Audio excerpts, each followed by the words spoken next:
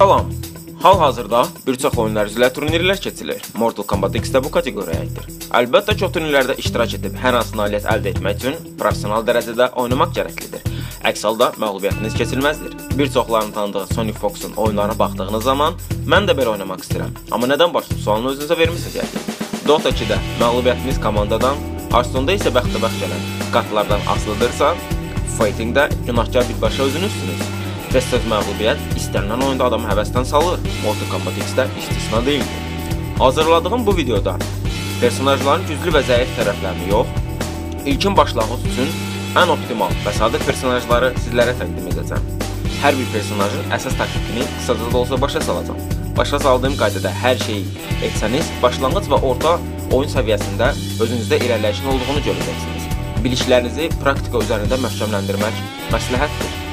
Oynadığınız personajlarda bu öz əksini göstərəcəkdir. Beləliklə, top 5 ən yaxşı başlanğıc personajlarını sizlərə təqdim edirəm. 5-ci yerdə siyahıdakılardan ən texnik olan personaj Sub-Zero Grandmaster.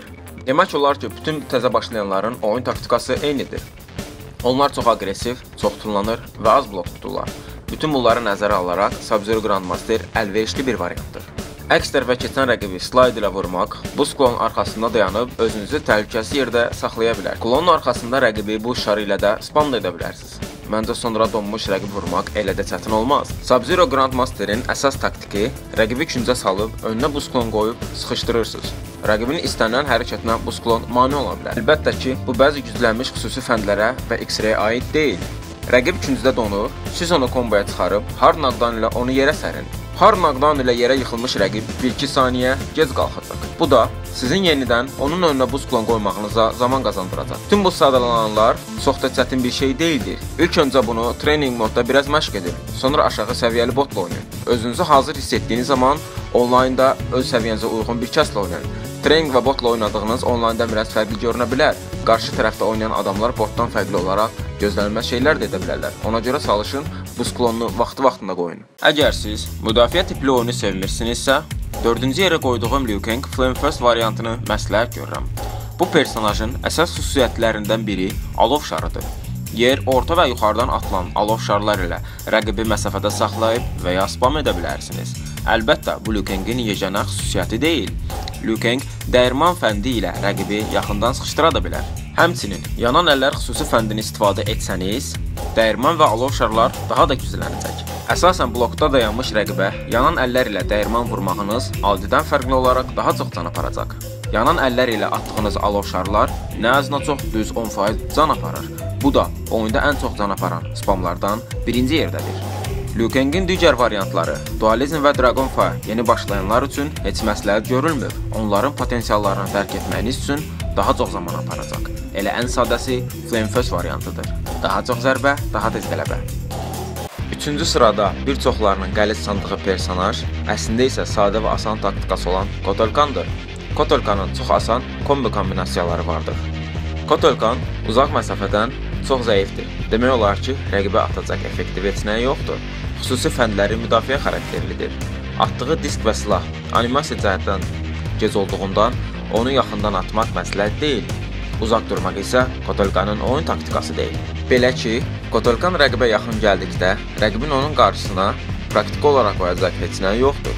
Bu personajın əsas taktikası köşədən və mərkəzdən asılı olmayaraq rəqibi sıxışdırmaqdır. Cəld hərəkət edən Kotolkanın uzun əl və ayaqları rəqibi sıxışdıracaq, duruma gətirib çıxaracaq. Köşədə isə kolossal dərəcədə daha çox can aparmaq şansına malikdir. Sadə komboları ilə minimum 20, ən qəliz olan kombosu ilə real oyunda 80%-ə kimi can apara bilərsiniz. Kotolkanın God var variantında onun əlavə silahı olur. Bununla o daha çox mix-uplar edir. Yetər ki, rəqiblə aranızda olan məsafəni azaldın. Başlayanlar üçün Kotolkana qarşı çıxmaq biraz çətin olacaq. Əvvəl də dediyim kimi, az blok tutduqlarından Kotolkana əsil yem olacaqlar. İkinci yerə hansı personajın qoyacağını çox fikirləşdim və bu yeni başlayanların ən çox sevdiklərindən biri Jason Voorhees məhz slasher variantı. Jason'ın slasher variantı əlindəki maçete ilə digərlərindən fərqlənir. O maçetesini atanda rəqib bloksuz otursa belə dəyəcək. Yaxında isə maçetesi uzun olduğundan biraz məsafəli vuracaqdır. Bu da rəqibə sizə yaxınlaşmağa imkan verməyəcək. Çox can aparan sadə kombolar ilə Jason ikinci yerini möhkəm tutur. Komboya çıxaracaq sadə fəndləri var ki, onu hər başlayan blok tuta bilmir. Rəqibi yaxından vurmaqda çətinlik çəkirsinizsə, uzaqdan bıçağı ilə spam edə bilərsiniz.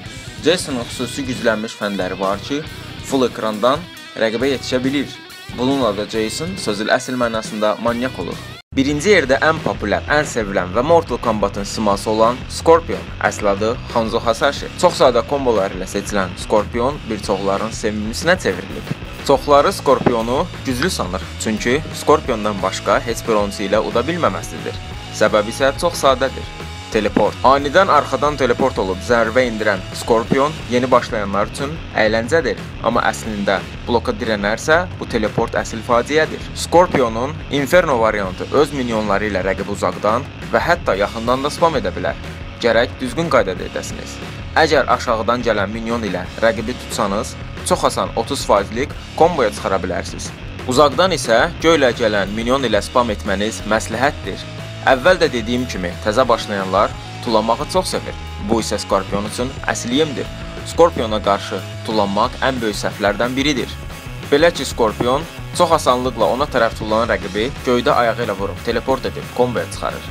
Rəqibi 3 dəfə belə tutarsa, raundu udmuş hesab olunursunuz. Scorpionun Inferno variantı ilə səlis oynadıqdan sonra məsləhət görürəm ki, Ninjutsu variantına keçəsiniz.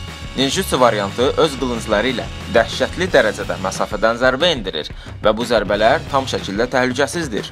Demək olar ki, bu qılınclar bir çox güclənmiş fəndləri qıra bilir. Unutmayın ki, Ninjutsu variantı uzaq məsafə üçün deyil. Çalışın rəqiblə orta məsafə saxlayın. Yetər ki, qılınclarınız çatsın. Scorpionun Hellfire variantı heç məsləhət görülmür. Bu variantı səlist oynamaq üçün orta səviyyədən də yüksək demək olar ki, professional səviyyədə oyun qabiliyyəti gərəkdir. Videomuzun sonuna yaxınlaşdıq. Ən asan oynanılacaq personajları sizə təqdim etdim. Necə oynayacağınız isə sizə qalır. Daha çox praktik, daha çox onlayn oyun təcrübənizi artıracaq. Yaxın zamanda oyunda olan terminlər haqqında ayrıca video hazırlayacağam. Əgər bu video yetərincə izləyici sayı toplayarsa, kanalıma abunə olun, şərh yazıb bəyənməyi unutmayın. Videom xoşunuza gəldisə, bunu dostlarınıza göstərin. Sizə əziyyət deyil, mənə isə xoşdur.